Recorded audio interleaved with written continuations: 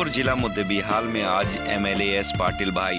शांत गौड़ा पाटिल नादाहाली ने press meeting बुलाकर कहा एमएलए एस पाटिल नादाहाली ने कॉलेज के स्टूडेंट लेकर युवजन संकल्प यात्रा। कॉलेज के स्टूडेंट को लेकर बिना परमिशन के यहाँ काम कर रहे हैं और पचहत्तरवा स्वतंत्रता दिवस के मुहूर्त महोत्सव बनाया जा रहा है। स्टूडेंट ने कहा कि 100 से डेढ़ सौ रुपये ले करके लोगों को गुमराह किया जा रहा है। एमएलए साहब डिपार्टमेंट से पैसा कलेक्ट करके इस कार्यक्रम को कर रहे हैं और हर डिपार्टमेंट से पैसा जमा कर इस कार्यक्रम को कर रहे हैं। तालुका में बहुत भ्रष्टाचार चल रहा है और युवजन संकल्प यात्रा को करोड़ों रुपए खर्च कर रहे हैं। एमएलए के पास इतना पैसा आखिर कहाँ से आया? पूरे मुद्दे बिहार में भ्रष्टाचार चरम पर जा चुका है।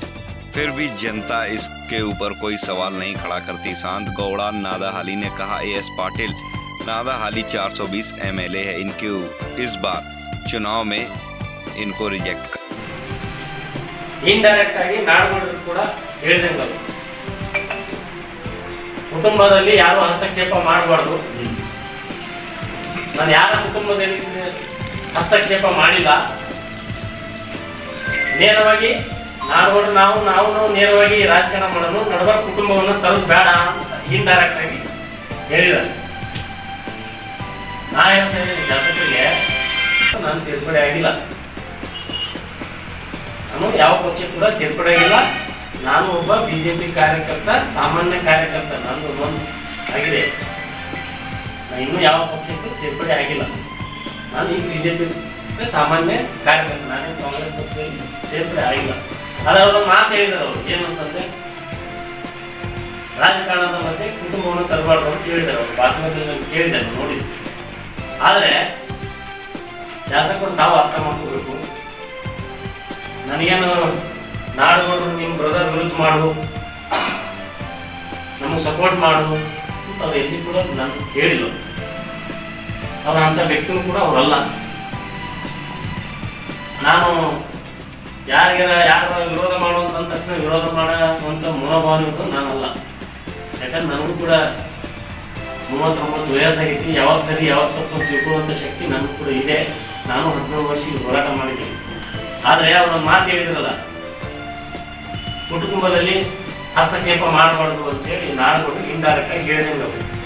ನಾನು ಕೇಳ್ತಾ ಇದ್ದೇನೆ, ಹೋದ ಬಾರಿ ಚುನಾವಣೆಯಲ್ಲಿ ನಾಡಗೌಡರ ಕುಟುಂಬದಲ್ಲಿ ಹಸ್ತಕ್ಷೇಪ ಮಾಡಿದರೆ ಯಾರು? ಅದನ್ನ ಎ ಎಸ್ ಪಾಟೀಲ್ ನಡೆಯವರೇ ಹೇಳ್ಬೇಕು.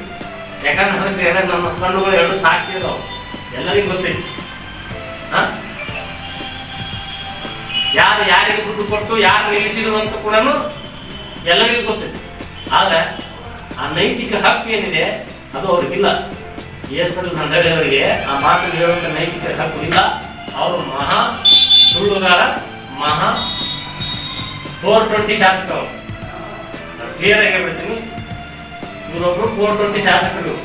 ಇವ್ರು ಬರೀ ಸುಳ್ಳು ಹೇಳೋದು ತಲುಪ್ತನ ಮಾಡೋದು, ಜನರನ್ನ ಹಾಗೆ ತಪ್ಪಿಸೋದು ಬರೀ ಇಂಥ ಕೆಲಸ ಯಾಕಂದ್ರೆ ಅವರು ಮಾತಿನ ಕಲೆಗಾರ ಅಂದ್ರೆ ಮಾತಿನ ಕಲೆಗಾರ, ಮಾತು ಮಾತಿನ ಮುಖಾಂತರ ಜನರನ್ನ ಹೆಂಗೆ ಇದು ಮಾಡ್ಬೇಕಂತ ಗೊತ್ತೈತಿ.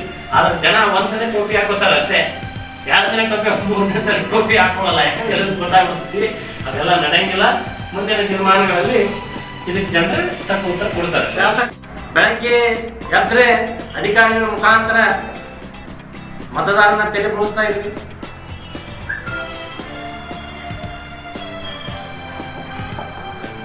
ಅದಕ್ಕೆ ಇವತ್ತು ನಾನು ಹೇಳ್ತಾ ಇರೋದು ಅಷ್ಟೇ. ಇವತ್ತು ತಿರಂಗ ಯಾತ್ರೆಯಲ್ಲಿ, ತಾಳಿಕೋಟೆಯಲ್ಲಿ ಶಾಸಕರೇ, ಆನೆಯ ಮೇಲೆ ಭಾರತ ಧ್ವಜವನ್ನು ಹಾಕಿ, ಅದರ ಮೇಲೆ ಅವರ ಧ್ವಜದ ಮೇಲೆ ಅವರ ಮಗನನ್ನು ಕುಂದಿಸಿ ಕಾಲಲ್ಲಿ ಊಟ ಕೊಂಡಿದ್ದಾರೆ ಕೊಡ್ಬೇಕು. ಅಷ್ಟು ಪರಿಜ್ಞಾನ ಇಲ್ಲ.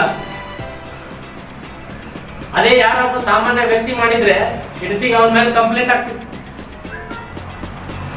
ಅದೇ ಸಾಮಾನ್ಯ ವ್ಯಕ್ತಿ ತಪ್ಪು ಮಾಡಿದ್ರೆ ಅವ್ರ ಮೇಲೆ ಕಂಪ್ಲೇಂಟ್ ಆಗ್ತಿತ್ತು ಇವತ್ತು ದೊಡ್ಡವ್ರು ಮಾಡಿದ್ರೆ ಇಲ್ಲಿ ಕಾನೂನು ಇಲ್ಲ. ತಾಲೂಕಿನಲ್ಲಿ ಕಾನೂನೇ ಇಲ್ಲ. ದೊಡ್ಡವರ ಮಕ್ಕಳು, ದೊಡ್ಡವರು ಏನ್ ಮಾಡಿದ್ರು ನಡೀತದೆ ಜನಸಾಮಾನ್ಯರಿಗೆ ಮಾತ್ರ ಕಾನೂನು ಮುದ್ದೆಗಳು ತಾಲೂಕಿನಲ್ಲಿ. ಯಾಕಂದ್ರೆ ಅವರು ನನ್ನ ಮಾತು ಹೇಳಿದ್ರು. ನಮ್ಮ ಕುಟುಂಬದವರು ಯಾರೇ ತಪ್ಪು ಮಾಡಿದ್ರು ಕೂಡ ನಿರ್ದಾಕ್ಷಿಣ್ಯವಾಗಿ ಕ್ರಮ ತಗೊಳಕ್ ಹೇಳ್ತೀನಿ, ಅಧಿಕಾರಿಗಳಿಗೆ ಅಂತ ಹೇಳಿದ್ರು ಹೌದಾ? ಯಾಕೆ ಅಂದ್ರೆ ನನಗೆ ಹೇಳಿದ್ರು ಅಬಕಾರಿ ಇಲಾಖೆಯಲ್ಲಿ ನಾನು ಕಾನೂನು ಬಾಹಿರವಾಗಿ ಯಾವುದನ್ನು ಕೇಳಿಲ್ಲ, ಯಾವುದನ್ನು ಮಾತಾಡಿಲ್ಲ. ಅಧಿಕಾರಿಗಳಿಗೆ ಗೌರವವನ್ನು ಕೊಟ್ಟು ನಾನು ಮಾತಾಡಿದ್ದೆ. ಯಾಕೆ ಅಂತಂದ್ರೆ, ನಾನು ಅಲ್ಲಿ ಇವತ್ತು ಅಬಕಾರಿ ಇಲಾಖೆಯಿಂದ ಪ್ರತಿಯೊಂದು ಬಾರ್ ಅಂಗಡಿಗೆ ಇಪ್ಪತ್ತು ಸಾವಿರ ರೂಪಾಯಿ ಇದೆ. ಪ್ರತಿ ತಿಂಗಳು ಇಪ್ಪತ್ತು ಸಾವಿರ ರೂಪಾಯಿ ಕೊಡ್ಬೇಕು. ಇವತ್ತು ಡಾಬಾದ ಅಂಗಡಿಯವ್ರು ಕೊಡ್ಬೇಕು. ಟೋಟಲ್ ಆಗಿ ಸುಮಾರು ನಮ್ಮ ಮುದ್ದೆ ಬಳಗದಲ್ಲಿ ಪ್ರತಿ ತಿಂಗಳು ಹತ್ತು ಲಕ್ಷಕ್ಕಿಂತ ಹೆಚ್ಚು ಹಣ ಕಲೆಕ್ಟ್ ಆಗ್ತದೆ ಅದಕ್ಕೆ ಕತ್ರಿ ಬೀಳ್ತದಲ್ಲ ಧೂಳ ಧೂಳಾಕತ್ತಿದೆಯಲ್ಲ ಇವ್ ಹೋಗಿ ಅದನ್ನ ಬಂದ್ ಮಾಡಕತ್ತಲ್ಲ ಅಂತ ಹೇಳಿ ಶಾಸಕರು ಆ ಹೊಟ್ಟೆ ಕಿಸಿನಿಂದ ನನ್ನ ಮೇಲೆ ಕಂಪ್ಲೇಂಟ್ ಮಾಡಿದ್ರು.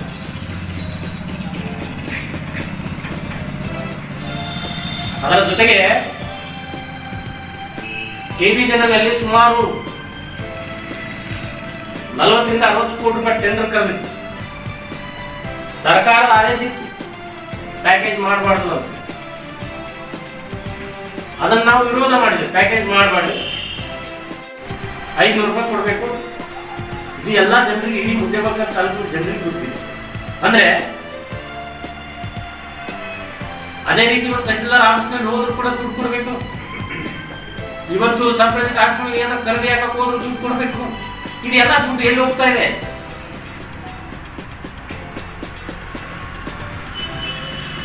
ಇವತ್ತು ಸದೃಢ ಸದೃಢ ಭಾರತ ನಿರ್ಮಾಣ ಅಂತ ಹೇಳ್ತಾ ಇದಾರಲ್ಲ ನನ್ಗೆ ಅನಿಸ್ತಾ ಇದೆ. ಇವತ್ತು ಸದೃಢ ಭಾರತವನ್ನ ನಿರ್ಮಾಣವನ್ನ ಶಾಸಕರು ಮಾಡ್ತಾ ಇಲ್ಲ. ಈ ಮುದ್ದೇಬಾಳನ್ನ ಒಂದು ಭ್ರಷ್ಟ ಮತಕ್ಷೇತ್ರವನ್ನಾಗಿ ಇವತ್ತು ಮಾಡ್ತಾ ಇದ್ದಾರೆ. ಯಾಕಂದ್ರೆ ಇಲ್ಲಿ ಪ್ರತಿಯೊಬ್ಬ ಗುತ್ತಿಗೆದಾರ ಕೆಲಸ ಮಾಡ್ಬೇಕಪ್ಪ ಅಂದ್ರೆ ಹತ್ತು ಪರ್ಸೆಂಟೇಜ್ ಕೊಡ್ಬೇಕು ಶಾಸಕರಿಗೆ ಕಂಪಲ್ಸರಿ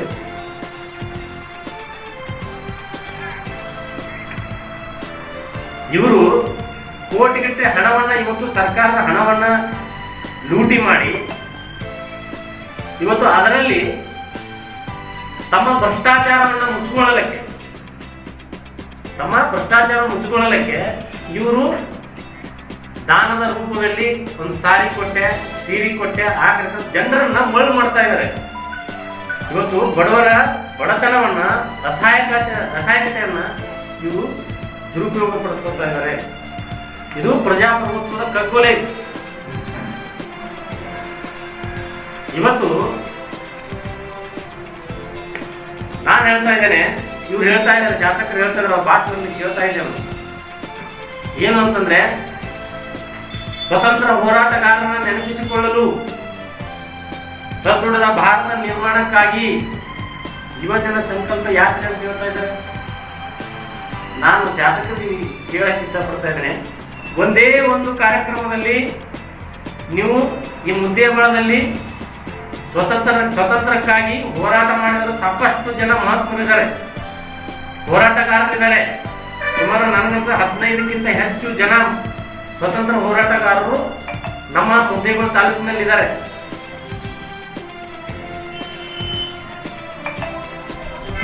ಆ ಮಹಾತ್ಮರ ಬಗ್ಗೆ ಒಂದಿನ ಆದ್ರೂ ಕೂಡ ಎಲ್ಲರ ವೇದಿಕೆ ಮೇಲೆ ಮಾತಾಡಿದ್ರಿ. ಅವ್ರದ್ದೆಲ್ಲರ ಒಂದು ಫೋಟೋ ಹಾಕಿದ್ರಿ. ಇದು ಕೇವಲ ಹೆಸರಿಗೆ ಮಾತ್ರ. ಯಾಕಂದ್ರೆ ಶಾಸಕರಿಗೆ ಗೊತ್ತು. ಯಾಕಂದ್ರೆ ದೇಶ ಪ್ರೇಮದ ಹೆಸರಿನಲ್ಲಿ ಯುವಕರನ್ನ ಒಗ್ಗೂಡಿಸಬಹುದು ಆ ಒಗ್ಗೂಡಿಸಿ ಕಾರ್ಯಕ್ರಮ ಮಾಡೋದ್ರ ಮುಖಾಂತರ ನನ್ನ ರಾಜಕೀಯ ಬೇಳೆಯನ್ನ ಬೇಯಿಸ್ಕೋಬಹುದು ಅಂತ ಅವ್ರು ತಿಳ್ಕೊಂಡಿದ್ದಾರೆ. ಅದು ಸಾಧ್ಯ ಇಲ್ಲ. ಯಾಕಂದ್ರೆ ಇದು ಸದೃಢ ಭಾರತ ನಿರ್ಮಾಣದ ಹೆಸರಿನಲ್ಲಿ. ಯುವ ಜನರನ್ನ ಹಾದಿ ತಪ್ಪಿಸ್ತಾ ಇದ್ದಾರೆ ಅಂತ ನಮ್ಗೆ ಅನಿಸ್ತಾ ಇದೆ. ಯಾಕೆ ಅಂತಂದ್ರೆ, ಇದು ಶಾಸಕರ ಒಂದು ಸ್ವಂತ ಕಾರ್ಯಕ್ರಮವನ್ನು ಅಥವಾ ಇದೇನು ಸರ್ಕಾರದ ಕಾರ್ಯಕ್ರಮನೋ ಅನ್ನೋದನ್ನ ಶಾಸಕರೇ ಸ್ಪಷ್ಟಪಡಿಸಬೇಕು. ಯಾಕೆ ಅಂತಂದ್ರೆ, ಇವತ್ತು ಈ ಕಾರ್ಯಕ್ರಮಕ್ಕೆ ಕೋಟಿಗಟ್ಟಲೆ ಹಣವನ್ನ ಖರ್ಚು ಮಾಡಿದ್ದಾರೆ. ಈ ಕೋಟಿಗಟ್ಟಲೆ ಹಣವನ್ನ ಯಾರು ಕೊಟ್ರು? ಈ ಶಾಸಕರು ಕೊಟ್ಟರು ಅಥವಾ ಅವ್ರ ಸ್ವಂತ ಜೇಬಿನಿಂದ ಕೊಟ್ಟರು ಅಥವಾ ಮುದ್ದೇಬಾಳದ ಎಲ್ಲ ಇಲಾಖೆಗಳಿಂದ ಕಲೆಕ್ಟ್ ಮಾಡಿ ತಗೊಂಡ್ರು ಅನ್ನೋದನ್ನ ಶಾಸಕರೇ ಸ್ಪಷ್ಟಪಡಿಸಿದ್ರು ಯಾಕೆಂತಂದ್ರೆ ಇವತ್ತು ಈ ಕಾರ್ಯಕ್ರಮಕ್ಕೆ ಮುದ್ದೇಬಳದ ಪ್ರತಿಯೊಂದು ಇಲಾಖೆಯಿಂದ ದುಡ್ಡು ಹೋಗಿದೆ. ಪೊಲೀಸ್ ಇಲಾಖೆಯಿಂದ ಹೋಗಿದೆ, ಪಿಡಬ್ಲ್ಯೂ ಇಲಾಖೆಯಿಂದ ಹೋಗಿದೆ, ತಹಸೀಲ್ದಾರ್ ಆಫೀಸಿಂದ ಹೋಗಿದೆ, ಸಬ್ ರಿಜಿಸ್ಟರ್ ಆಫೀಸಿಂದ ಹೋಗಿದೆ, ಕೆಬಿಯಿಂದ ಹೋಗಿದೆ, ಸಮಾಜ ಕಲ್ಯಾಣ ಇಲಾಖೆಯಿಂದ ಹೋಗಿದೆ, ಮಹಿಳಾ ಮತ್ತು ಮಕ್ಕಳ ಕಲ್ಯಾಣದಿಂದ ಇಲಾಖೆಯಿಂದ ಹೋಗಿದೆ. ಅಷ್ಟೇ ಅಲ್ಲ, ಆಯಾ ಪಂಚಾಯತಿಗಳಂದು ಪಿಡಿಒಗಳ ಮುಖಾಂತರ ದುಡ್ಡು ಹೋಗಿದೆ.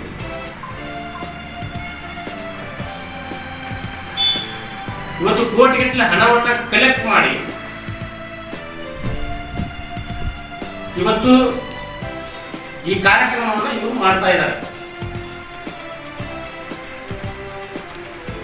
ಬಹಳ ಜನ ಶಾಸಕರ ಆತ್ಮೀಯರು ಹೇಳ್ತಾರೆ, ಶಾಸಕರು ಸ್ವಂತ ಹಣದಲ್ಲಿ ಈ ಕಾರ್ಯಕ್ರಮವನ್ನ ಮಾಡ್ತಾ ಇದ್ದಾರೆ ಕೋಟಿಗಟ್ಟಲೆ ಅಂತ ಹೇಳಿ. ಇವತ್ತು ಸೀರೆಗಳನ್ನ ಕೊಟ್ಟಿದ್ದಾರೆ ಜುಬ್ಬಾ ಪೈಜಾಮಗಳನ್ನ ಕೊಟ್ಟಿದ್ದಾರೆ.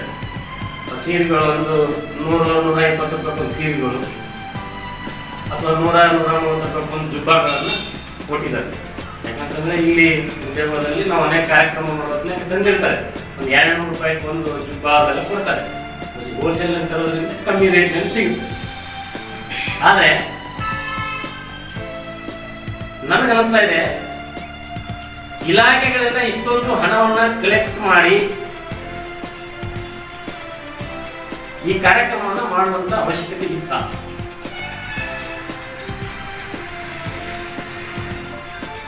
ನಾನು ಹೇಳ್ತಾ ಇರೋದು, ಇವತ್ತು ಒಬ್ಬ ಶಾಸಕನ ಕರ್ತವ್ಯ ಏನು?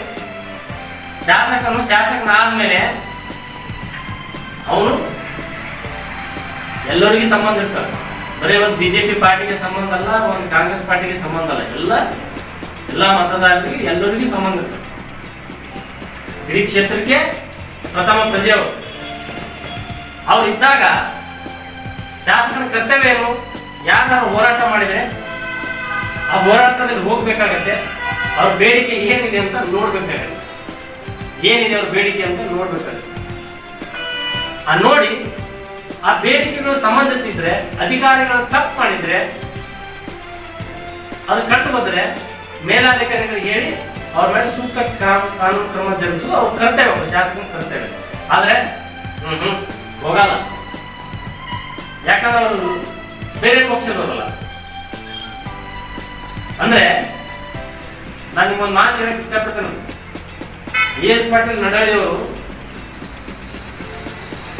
ಕೆಲವು ವರ್ಷದ ಹಿಂದೆ ಅಧಿಕಾರಿಗಳಿಗೆ ಒಂದು ಮಾತು ಹೇಳಿದ್ರು. ಏನಂದ್ರೆ, ಲೇಔಟ್ಗಳನ್ನ ಡೆವಲಪ್ಮೆಂಟ್ ಮಾಡದೆ ಉದಾಹರಣೆಗಳನ್ನು ಕೊಡಬಾರ್ದು ಅಂತ ಹೇಳಿ. ಯಾಕಂದ್ರೆ ಹೊಸ ಲೇಔಟ್ಗಳನ್ನ ಮಾಡೋರಿಗೆ ಈ ರೂಲ್ ಸಪ್ಲೈ ಮಾಡಿದ್ರೆ ಓಕೆ ಈಗ ಆಲ್ರೆಡಿ ಅವ್ರು ಲೇಔಟ್ ಮಾಡಿಬಿಟ್ಟಿದ್ದಾರೆ ಅದರೊಳಗ ಬಹಳ ಸೈಟ್ಗಳನ್ನ ಮಾಡಿ ಇನ್ನೊಬ್ರು ಇನ್ನೊಬ್ರು ಮಾಡಿ ಹೋಗ್ಬಿಟ್ಟಿದ್ದಾರೆ. ಈಗ ಅವನಿಗೆ, ಈಗ ಅವ ಪಾಪ ಸೈಟ್ ತಗೊಂಡಿರ್ತಾನೆ ಒಬ್ಬ ಅವ ಇನ್ನೊಬ್ರಿಗೆ ಖರೀದಿ ಹಾಕಿ ಕೊಡ್ಬೇಕಾಗತ್ತೆ. ಅವಾಗ ನಿನ್ಗೆ ಉದಾಹರಣೆ ಕೊಡಲ್ಲ, ಆ ಸೈಟ್ ಡೆವಲಪ್ಮೆಂಟ್ ಆಗಿಲ್ಲ ಅಂತಂದ್ರೆ ಏನ್ ಹೇಳ್ಬೋದು? ಇವತ್ತು ಯಾಕೆ ಶಾಸಕರು ಮಾಡಿದಾರೆ ಅಂತಂದ್ರೆ, ಅಧಿಕಾರಿಗಳ ಮುಖಾಂತರ ದುಡ್ಡನ್ನ ಕಲೆಕ್ಟ್ ಮಾಡಕ್ಕೆ ಮಾಡಿದ್ದು. ಯಾಕಂದ್ರೆ ಇವತ್ತು ಈ ರೀತಿ ಡೆವಲಪ್ಮೆಂಟ್ ಮಾಡ್ಕೊಳ್ಳಲ್ಲ ಅಂತ ಇವತ್ತು ಒಬ್ಬ ಉತ್ತಾರೆ ಡೆವಲಪ್ಮೆಂಟ್ ಉತ್ತಾರೆ ತಗೋಬೇಕಪ್ಪ ಅಂತಂದ್ರೆ, ಬಹಳಷ್ಟು ಜನ ಇವತ್ತು ಕೊಟ್ಟಿಲ್ಲ ಎಲ್ಲ ಉತ್ತಾರೆ ಕೊಟ್ಟಿದ್ದಾರೆ. ಶಾಸಕರು ಹೇಳಿದ ಮೇಲೆ ಉತ್ತರ ಕೊಟ್ಟಿಲ್ಲ, ಕೊಟ್ಟಿದ್ದಾರೆ. ಯಾಕೆ ಕೊಟ್ಟಿದ್ದಾರೆ ಅಂತಂದ್ರೆ ದುಡ್ಡು ತಗೊಂಡು ಕೊಟ್ಟಿದ್ದಾರೆ ಅಷ್ಟೇ. ಇವತ್ತು ಶಾಸಕರು ಅಧಿಕಾರಿಗಳ ಮುಖಾಂತರನೇ ದುಡ್ಡನ್ನು ಕಲೆಕ್ಟ್ ಮಾಡಿದ್ದಾರೆ. ಈ ಒಂದು ಉದಾಹರಣೆ ತಗೋಬೇಕಪ್ಪ ಅಂತಂದ್ರೆ ಇಪ್ಪತ್ತು ಸಾವಿರ, ಮೂವತ್ತು ಸಾವಿರ, ಐವತ್ತು ಸಾವಿರ ರೂಪಾಯಿ ಕೊಟ್ಟಿದ್ದಾರೆ. ಮೊದಲು ಹಂಗ ಉತ್ತರ ಕೊಟ್ಟಿದ್ದು ಯಾಕೆ ಅಂದ್ರೆ ಡೆವಲಪ್ಮೆಂಟ್ ಮಾಡಿಲ್ಲ ಉತ್ತರ ಕೊಡಲ್ಲ. ಶಾಸಕರು ಕೊಡಬಾರ್ದು ಅಂತ ಹೇಳಿದ್ದಾರೆ.